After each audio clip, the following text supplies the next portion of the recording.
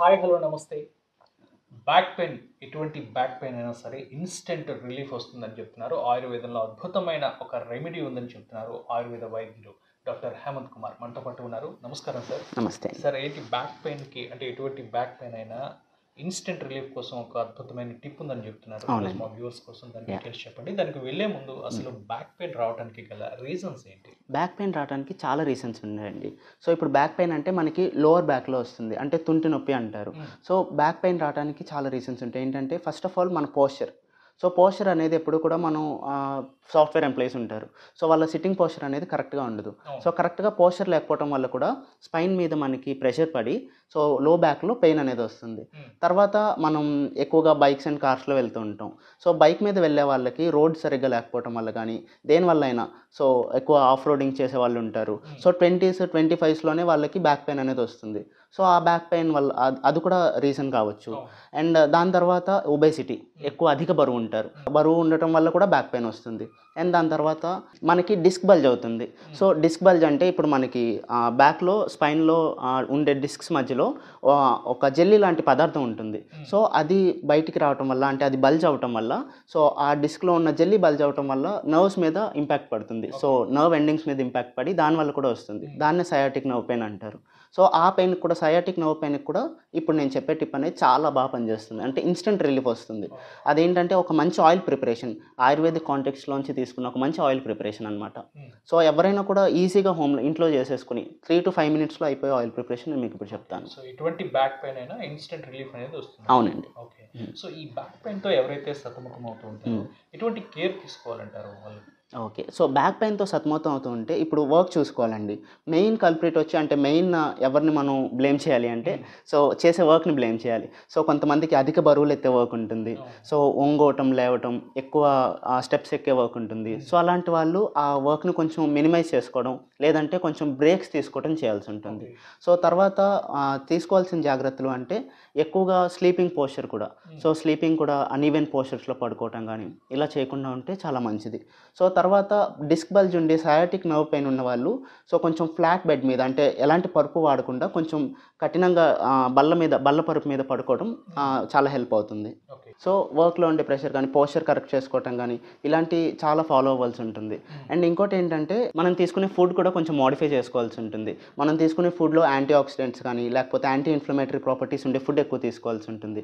So అలాంటి food అంటే మనకి సింపుల్గా జింజర్ ఎక్కువ యాడ్ చేసుకోవాల్సి ఉంటుంది. సో జింజర్లో అల్లంలో ఎక్కువ యాంటీ ఇన్ఫ్లమేటరీ ప్రాపర్టీస్ ఉంటాయి. సో డిస్క్ బల్జెస్ కానీ లేకపోతే బాడీలో ఎక్కడైనా జాయింట్స్లో స్వెల్లింగ్స్ కానీ ఉన్నాయనుకోండి ఆ స్వెల్లింగ్స్ని మినిమైజ్ చేయడానికి జింజర్ అనేది అల్లం అనేది పనిచేస్తుంది అనమాట మనం కర్రీస్లో అయినా తీసుకోవచ్చు. లేదు అంటే సెపరేట్గా కూడా ఆ జింజర్ పౌడర్ ఉంటుంది కదా మిల్క్లో కలుపుకొని తాగటం కానీ అలా చేయొచ్చు. అండ్ తర్వాత టర్మరిక్ కూడా.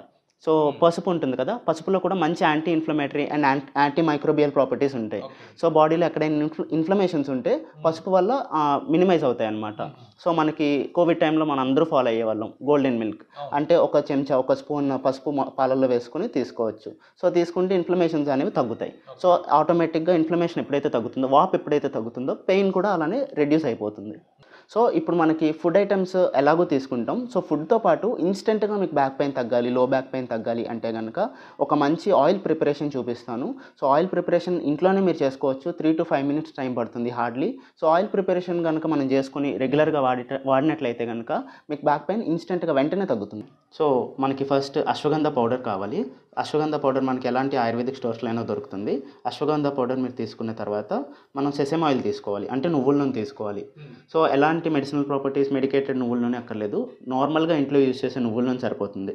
సో నువ్వుల నూనె అండ్ తర్వాత లావెండర్ ఆయిల్ అని మీకు లావెండర్ ఆయిల్ మీకు ఎక్కడైనా కూడా ఆన్లైన్ స్టోర్స్లో దొరుకుతుంది. At the same time grocery స్టోర్స్లో కూడా లావెండర్ ఆయిల్ దొరుకుతుంది. సో లావెండర్ ఆయిల్ ఈ త్రీ ఇంగ్రీడియంట్స్ సరిపోతాయి. ఈ త్రీ ఇంగ్రీడియంట్స్తోనే మనం ఇన్స్టెంట్గా రిలీఫ్ వచ్చే ఒక మంచి మెడికేటెడ్ ఆయిల్ని మనం ఇంట్లోనే తయారు చేసుకోవచ్చు. సో ఇప్పుడు మీకు ప్రాసెస్ ఎలానో చూపిస్తాను. ఒకసారి చూడండి.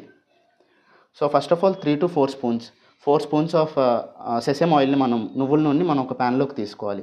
ప్యాన్లోకి తీసుకొని ప్యాన్ అంతా కూడా స్ప్రెడ్ అయ్యేలాగా మనం ఫస్ట్ ప్యాన్ అంతా స్ప్రెడ్ చేసుకోవాలి దాన్ని. ప్యాన్ అంతా స్ప్రెడ్ అయిన తర్వాత ఒక టూ మినిట్స్ ఆ సెసెమ్ ఆయిల్ని మనం హీట్ చేసుకోవాలి. లైట్ ఫ్లేమ్ మీద హీట్ చేసుకోవాలి. సో ఎక్కువ ఫ్లే ఫ్లేమ్ మీద హీట్ చేసుకుంటే అది ఎవపరేట్ అయిపోతుంది. అంటే మనకి సరిగ్గా ప్రిపరేషన్ అనేది రాదు. సో లైట్ ఫ్లేమ్ మీద మీడియం ఫ్లేమ్ మీద హీట్ చేసుకోండి. ఒక టూ మినిట్స్ సరిపోతుంది. సో హీట్ చేసుకున్న తర్వాత ఇందులో ఒక two tablespoons of ashwagandha powder add చేసుకోవాలి. So two tablespoons ashwagandha powder add చేసుకొని దీన్ని ఈవెన్గా మిక్స్ చేసుకోవాలి ఆయిల్తో పాటు. సో ఆయిల్తో పాటు చాలా ఈవెన్గా కలిసేలాగా మిక్స్ చేసుకోవాల్సి ఉంటుంది.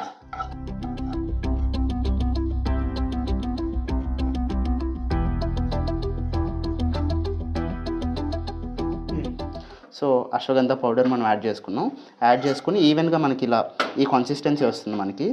ఈ కన్సిస్టెన్సీ వచ్చే వరకు మనం మిక్స్ చేసుకుంటాం. సో బాగా మిక్స్ చేసుకున్న తర్వాత మనం స్టవ్ ఆఫ్ చేసుకోవాలి. సో స్టవ్ ఆఫ్ చేసుకుని మనం కొంచెం కూల్ అయ్యే వరకు వెయిట్ చేయాలి. సో ఒక ఫైవ్ మినిట్స్ వెయిట్ చేస్తే మనకి ఇది మొత్తం కూల్ అయిపోతుంది. సో కూల్ అయ్యే వరకు మనం ఒకసారి వెయిట్ చేసుకోవాలి. సో ఇప్పుడు మనకి ఇది కూల్ అయిపోయింది. సో కూల్ అయిపోయిన తర్వాత మనం లావెండర్ ఎసెన్షియల్ ఆయిల్ ఇందాక తీసుకున్నాం కదా. సో ఫిల్లర్తో పాటు ఒక త్రీ టు ఫోర్ డ్రాప్స్ వేసుకోవాలండి. So three to four drops lavender oil వేసుకొని మనం దీన్ని ఈవెన్గా కలుపుకోవాలి. సో లావెండర్ ఆయిల్ కూడా మనకి బాగా మిక్స్ అవ్వాలి ఇందులో. సో లావెండర్ ఆయిల్ మనం ఎందుకు యూజ్ చేస్తాము అంటే మజిల్స్ని రిలాక్స్ చేస్తుంది. సో లోవర్ బ్యాక్లో మనకి బ్యాక్ పెయిన్ కోసం వాడతాం కాబట్టి బ్యాక్లో ఉండే మజిల్స్ని బాగా రిలాక్స్ చేస్తుంది. సో అశ్వగంధ పౌడర్ మనం వేసుకున్నాం ఇందులో. అశ్వగంధ పౌడర్ దేనికి యూస్ అవుతుందంటే నర్వ్ కనెక్షన్స్ ఉంటాయి కదా? నర్వ్ కనెక్షన్స్ని బాగా స్ట్రెంగ్తెన్ చేస్తుంది. సో నర్వ్ కనెక్షన్స్ కనెక్షన్ని స్ట్రెంగ్తెన్ చేస్తుంది. అండ్ తర్వాత మనం వేసుకున్న సెసేమ్ ఆయిల్ కూడా బ్లడ్ ఫ్లోని ఇంక్రీజ్ చేస్తుంది. ఎప్పుడైతే మనకి బ్లడ్ ఫ్లో ఇంక్రీజ్ అవుతుందో పెయిన్ సెన్సేషన్ కూడా తగ్గుతుంది. సో మనకి ఆయిల్ అనేది రెడీ అయిపోయింది. సో ఇది మనం ఇంట్లోనే రెగ్యులర్గా ప్రిపేర్ చేసేసుకోవచ్చు. సో ఇన్స్టెంట్ అని చెప్పాను కాబట్టి ఇన్స్టెంట్గా కావాలంటే మీకు ఇలా తక్కువ క్వాంటిటీలో చేసుకోవచ్చు. అంటే ఫోర్ స్పూన్స్ ఆఫ్ నువ్వుల నూనె తీసుకొని ఇలా మీకు ఎప్పటికప్పుడు ఇన్స్టెంట్ ఆయిల్ ప్రిపేర్ చేసుకోవచ్చు.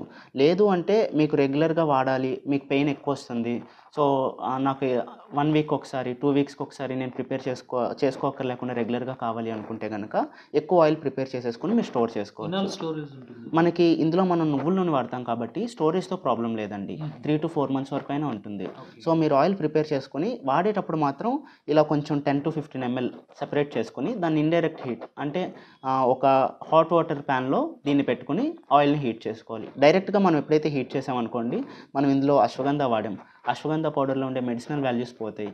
అండ్ తర్వాత మనం లావెండర్ ఎసెన్షియల్ ఆయిల్ వాడాం. సో ఎసెన్షియల్ ఆయిల్ ఏంటంటే దానిలో ఉండే ప్రాపర్టీస్ని ఈజీగా కోల్పోతుంది అనమాట సో ఎప్పుడైతే మనం హీట్ చేస్తామో డైరెక్ట్గా మంట మీద పెడతామో లావెండర్ ఆయిల్లో ఉండే హీ ప్రాపర్టీస్ కూడా పోతాయి.